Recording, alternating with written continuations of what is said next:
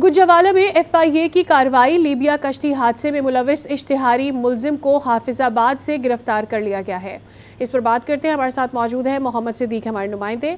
गुजरावाला में एफआईए ने कार्रवाई की है, लीबिया कश्ती हादसे में मुलविस इश्तिहारी मुलजिम को हाफिजाबाद से गिरफ़्तार कर लिया गया है। गुजरावाला पे एफआईए ने यह कार्रवाई की है, लीबिया कश्ती हादसे में मुलविस इश्तिहारी मुलजिम को हाफिजाबाद से गिरफ़्तार कर लिया गया है। आपको आगाह करें कि गुजरावाला में एफ़ आई ए ने यह कार्रवाई की है, लीबिया कश्ती हादसे में मुलविस इश्तिहारी मुलजिम जिसकी तलाश जारी थी।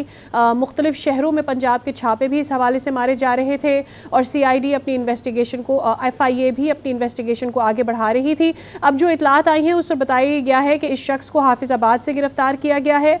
लीबिया कश्ती हादसे में मुलविस इश्तिहारी मुलजिम है, जिसको हाफिजाबाद से गिरफ़्तार किया गया है, जिसके लिए पूरे पंजाब में मुख्तलिफ़ शहरों में छापे भी मारे जा रहे थे।